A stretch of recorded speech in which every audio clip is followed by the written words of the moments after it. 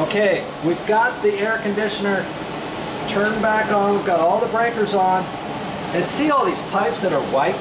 These are actually copper pipes and they've gotten so cold they've turned white. And that's how this thing works. This is all under pressure and nothing's dripping so far.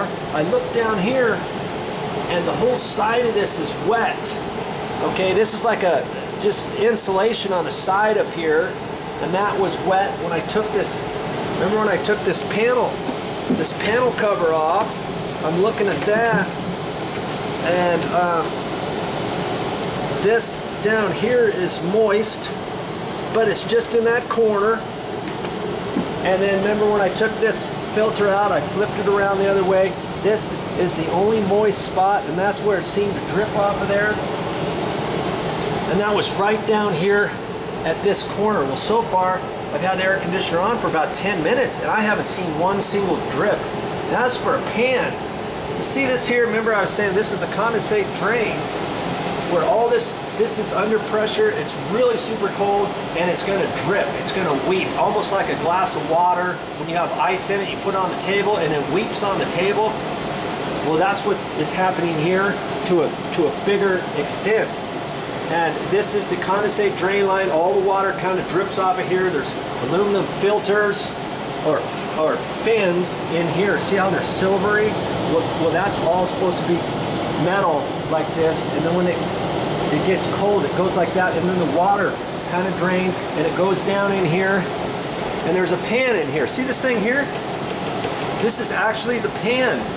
It's kind of inverted and there's a red cap here there's also a red cap down here and you can clean this and see you look on there it says caution avoid damage to plastic pan do not use strong alkaline cleaners pH 9.5 or greater.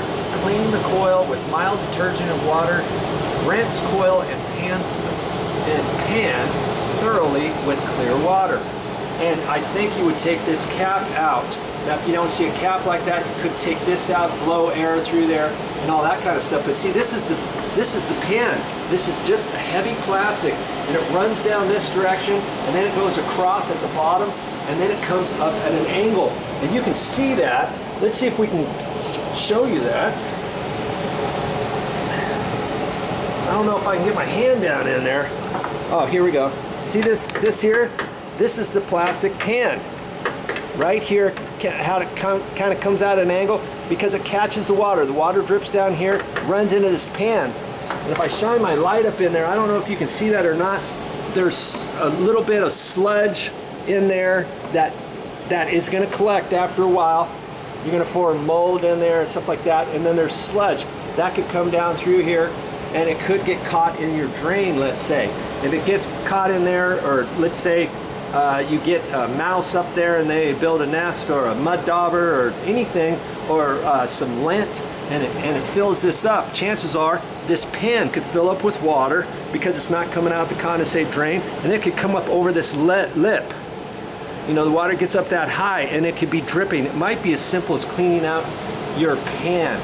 Okay, but in this case, it's not over there. This is all dry, and I'm looking over here, and the plywood, on the edge of the plywood that's been cut out, you see how it's kind of discolored? That's because it's been wet. And somehow the water somewhere has seeped up here and it's run on this insulation. The insulation probably got wet down here and the insulation works like a sponge. Gets wet down there and it just travels uphill.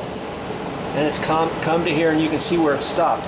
So we're trying to minimize it, to see exactly where the water's coming from. So it doesn't even look like it's coming from the pan at all.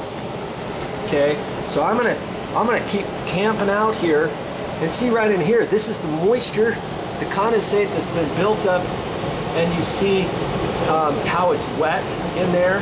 I was hoping maybe, uh, like here, here's some threads on a nut. Maybe the nut was loose, let's say, and it was dripping up this way and coming out. But all that water that was collected in the pan from before, that my catch basin down here, see, I've got a little bit of water in here, but I haven't seen it really, I didn't really see it drip per se.